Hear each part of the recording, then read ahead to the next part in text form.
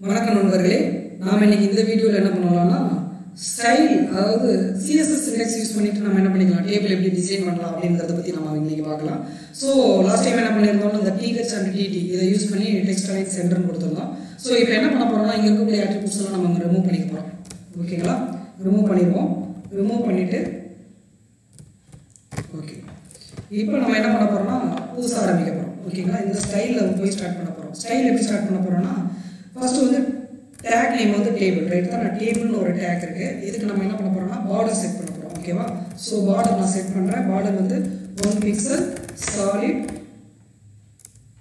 Green அப்படிங்கிற மாதிரி வைக்கிறேன்னு வச்சுக்குவோம் ஓகேங்களா so one pixel solid green வைக்கிறேன். இப்போ நான் இந்த பேஜை வந்து நான் ரன் பண்ணுறேன் ரன் பண்ணி பார்த்தோம்னா ஒன் பிக்சல் சாலிட் க்ரீன் அப்படிங்கிற மாதிரி இருக்குது ரைட் தானே? ஓகே ஃபைன் இப்போ நம்ம என்ன பண்ணலாம்? லாஸ்ட் டைம் சொன்ன மாதிரி டேபிளோட பேக்ரவுண்ட் கலர் ரைட் தான் டேபிளோட பேக்ரவுண்ட் கலர் பேக்ரவுண்ட் கலர் வந்து பிங்க் நம்ம கொடுத்துருந்தோம் இப்போ நமக்கு நல்லா நிறைய பேக்ரவுண்ட் கலர் வேணும்னா நம்ம என்ன பண்ணலாம்? எப்போதும் போல் நம்ம என்ன பண்ணுவோம்? எக்ஸா டிசைன் கலர் கோர்ஸ் எடுப்போம் ரைட் தானே? ஸோ அதை நம்ம வேணால் எடுத்துக்கலாம். எக்ஸா டிசைன் கலர் கோர்ஸ் போவோம். சூஸ் பண்ணிக்கலாம். இன்னும் கொஞ்சம் ஓகே இங்கே போகிறேன் ஃபைன்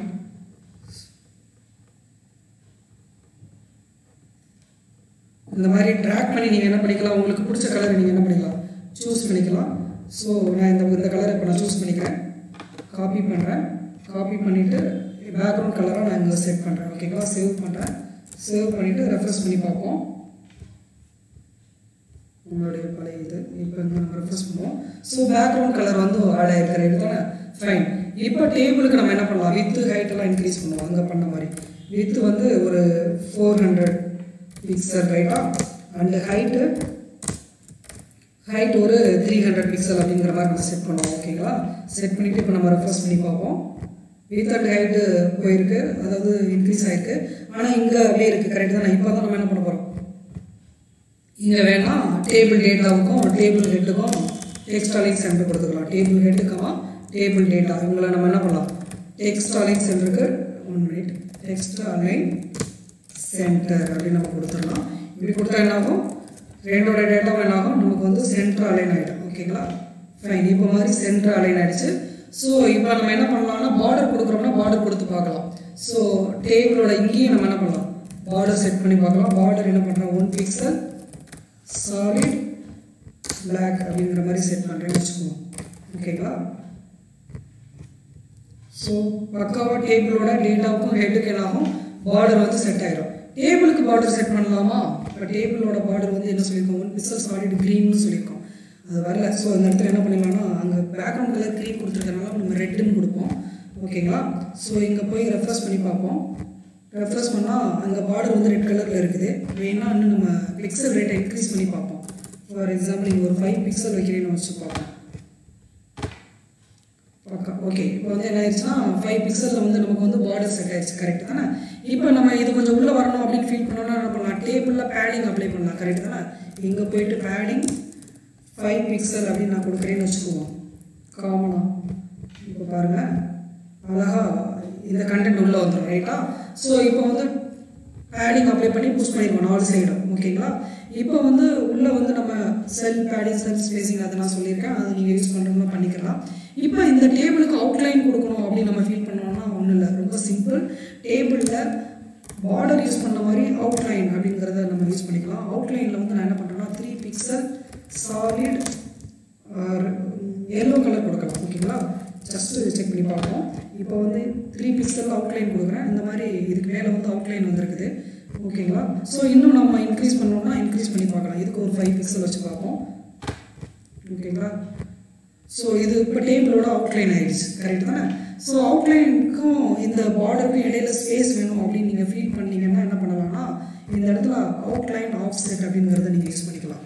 ஓகேங்களா one minute outline of set அப்படிங்கிற ப்ராப்பர்ட்டியை கால் பண்ணிக்கலாம். அவுட்லைன் ஆஃப் செட் வந்து ஒரு த்ரீ பிக்சல் ஆட் பண்ணுறேன்னு வச்சுக்கோங்க. பாருங்கள் ஸோ அவுட்லைன் ஆப்செட் அப்படிங்கிறது இந்த பார்டருக்கும் இந்த அவுட்லைனுக்கு இடையில இருக்கக்கூடிய ஸ்பேஸ் ஓகேங்களா ஃபைன் இப்போ நீங்கள் டேபிள் அலைன் பண்ணுறோன்னா சிம்பிளாக என்ன பண்ணிக்கலாம்? இங்கே போயிட்டு அலைன் டேபிள் என்ன பண்ணிக்கலாம்? சென்டர் அப்படிங்கிற ப்ராப்பர்ட்டி கொடுத்துக்கலாம். கொடுத்தீங்கன்னா டேபிள் வந்து உங்களுக்கு வந்து ஈஸியாக சென்டராக அலைன் ஆகிடும் அப்படி இல்லைன்னா சென்டருக்கிற டேக் யூஸ் பண்ணிவிட்டு அலைன் பண்ணணும். அதுக்கு இந்த டேபிளுக்கு முன்னாடி என்ன பண்ணணும்னா சென்டர் அப்படிங்கிற டேக் யூஸ் பண்ணிவிட்டு பண்ணணும். ஓகேங்களா எப்படி பண்ணலாம்னா இந்த டேபிள் ஓப்பன் பண்ணி க்ளோஸ் பண்ணுறோம் இந்த இடத்துல என்ன பண்ணுறோம்னா சென்டர் அப்படின்ற டேக் யூஸ் பண்ணி க்ளோஸ் பண்ணுறோம் இப்போ இந்த அலைன் நம்ம என்ன பண்ணலாம்னா ரிமூவ் பண்ணிடுவோம் ஓகேங்களா இப்போ ரிமூவ் பண்ணுறேன் அங்கேயே தான் இருக்குது ஓகேங்களா சென்டருங்கிற டேக் யூஸ் பண்ணி பண்ணலாம். சென்டர் எடுத்துட்டிங்கன்னா ரிமூவ் ஆகிடும் அப்படி இல்லைன்னா அலைன் என்ன சொல்லிடலாம் இந்த இடத்துல அலைன் சென்டர் அப்படிங்கிறது கொடுத்துக்கலாம் நீங்கள் போத் எது வேணாலும் யூஸ் பண்ணிக்கலாம். ஓகேங்களா ஃபைன் ஸோ இப்போ நம்ம என்ன பண்ணியிருக்கோம் அப்படின்னா சிஎஸ்எஸ் யூஸ் பண்ணி இந்த மாதிரி பண்ணியிருக்கோம் இந்த இடத்துல கேப் இருக்குது பார்த்தீங்களா இதுக்கு பேர் செல் ஸ்பேசிங் அப்படின்னு நம்ம பார்த்தோம். ரைட் தானே இந்த கேப் எல்லாம் ஃபில் பண்ணி ஒன்றாக்கணும் அப்படின்னு நம்ம நினச்சோம்னா சிம்பிள் என்ன பண்ணலாம் அப்படின்னு பார்த்தீங்கன்னா இந்த இடத்துல போயிட்டு பார்டர் கொலாப்ஸ் அப்படின்னு கொடுத்துருங்க. பார்டர் கொலாப்ஸ் அண்டு கொலாப்ஸ் அப்படின்னு கொடுத்துருங்க. ஸோ பார்டர் கொலாப்ஸ் கொலாப்ஸ் கொடுத்துட்டிங்கன்னா என்ன ஆகும்? பக்காவாக என்ன ஆகிடும் பார்த்தீங்கன்னா இருக்கக்கூடிய அந்த செல்கள் அதாவது அந்த பார்டர்லாம் ஒன்றா கொலாப்ஸ் ஆகி இந்த மாதிரி வந்துடும் டேபிள் வந்துடும் ஓகேங்களா இப்போ நீங்கள் என்ன பண்ணலாம்? நினச்சா ஒவ்வொரு ரோக்கும் வந்து கலர் அப்ளை பண்ணலாம். ஒவ்வொரு ஏரியாலையும் கலர் அப்ளை பண்ணலாம் ஐடி யூஸ் பண்ணிவிட்டு ஓகேங்களா இப்போ நம்ம என்ன பண்ணியிருக்கோம்னா ஃபஸ்ட்டு ரொம்ப கஷ்டம்லாம் இல்லை. ஒன்று டேபிள் டேட்டா டேபிள் ஹெட்டுக்கு என்ன பண்ணியிருக்கோம் டெக்ஸ்ட்டை வந்து அலைன் பண்ணியிருக்கோம் அதுக்கு டெக்ஸ்ட் அலைன் சென்டர் அப்படின்னு ஒன்று கொடுத்துருக்கோம். பார்டர்னு அப்படின்னு செட் பண்ணி என்ன பண்ணியிருக்கோம் ஒன் பிக்சல் சாலிட் பிளாக்னு சொல்லிட்டு ஒவ்வொரு டேட்டாவுக்கும் டேபிள் ஹெட்டுக்கும் என்ன பண்ணியிருக்கோம் பார்டர் யூஸ் பண்ணியிருக்கோம். அதுக்கப்புறம் என்ன பண்ணியிருக்கோம் அப்படின்னு பார்த்தோம்னா பார்டர் அதாவது டேபிளுக்கு பார்டர் கொடுத்துருக்கோம். டேபிளோட அவுட் இந்த டேபிளோட பார்டர் அதாவது ரெட் கலரில் டேபிளோட பார்டர் கொடுத்துருக்கோம்.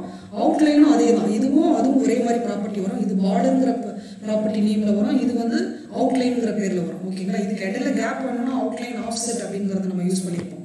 ஓகேங்களா இந்த இடத்துல அவுட்லைன் அப்படின்னு ஒன்று யூஸ் பண்ணியிருப்போம். அவுட்லைன் ஆஃப்செட் அப்படின்னு ஒன்று யூஸ் பண்ணியிருப்போம். ரெண்டு டேபிளோட டேட்டாவும் ஹெட்டும் அதாவது ஒன்றா மெர்ஜ் ஆகணும் அப்படிங்கிறதுக்காக நம்ம என்ன பண்ணியிருக்கோம் அப்படின்னு பார்த்தீங்கன்னா பார்டர் கொலாப்ஸ் அப்படிங்கிற ப்ராப்பர்ட்டி நம்ம இங்கே யூஸ் பண்ணியிருக்கோம் இது நார்மலாக பேடிங் அப்படிங்கிறது உள்ளே இருக்கக்கூடிய இந்த டேபிளோட ரோ இந்த ஃபுல் ரோ இருக்குது பார்த்தீங்களா இந்த ஏரியா மட்டும் என்ன கணாகணும் உள்ளே போகணும் அப்படிங்கிறதுக்காக நம்ம என்ன பண்ணியிருக்கோம்னா பேடிங் அப்படிங்கிற ப்ராப்பர்ட்டியை நம்ம என்ன பண்ணியிருக்கோம்னா இங்கே அப்ளை பண்ணிவிட்டு எல்லாருக்கும் உள்ளே இருக்கக்கூடிய கண்டென்ட் எல்லாம் நம்ம என்ன பண்ணியிருக்கோம் மூவ் பண்ணோம் ஃபஸ்ட்டு ஓகேங்களா இப்போ வந்து கொலாப்ஸ் பண்ணதுனால அது தெரியாது. ஸோ நீங்கள் கொலாப்ஸ் எடுத்து பார்த்தீங்கன்னா அது கண்டிப்பாக உங்களுக்கு தெரியும். கொலாப்ஸ் எடுத்து பார்ப்போமே இங்கே பாருங்கள் இப்போ கொலாப்ஸ் எடுத்து பார்த்தா கண்டிப்பாக என்ன சேஞ்சஸ்ங்கிறது ரொம்ப நல்லாவே தெரியும் உங்களுக்கு. இதை கமெண்ட் பண்ணிட்டேன். கமெண்ட் பண்ணோம்னா இப்போ பாருங்கள் ஸோ இப்போ இதுதான் பேடிங் ஓகேவா பேடிங்கிறது கொலாப்ஸ் வேணால் நீங்கள் யூஸ் பண்ணிக்கோங்க. இல்லைன்னா பேடிங் அப்ளை பண்ணி வச்சுக்கோங்க. இது நார்மலாக அந்த விட் அண்ட் ஹைட் ஓகேங்களா ஸோ இதை நீங்கள் ட்ரை பண்ணி பாருங்கள் இன்னும் தனித்தனி ரோக்கு காலம்கள்லாம் எப்படி கலர் அப்ளை பண்ணலாம்? இண்டிவிஜுவலாக எப்படி ஹைலைட் பண்ணி காமிக்கலாம்? இந்த டேட்டாலாம் எப்படி மெர்ச் பண்ணி பார்க்கலாம் அப்படிங்கிறத வந்து அடுத்த வீடியோவில் பார்க்கலாம். ஓகேங்களா நன்றி.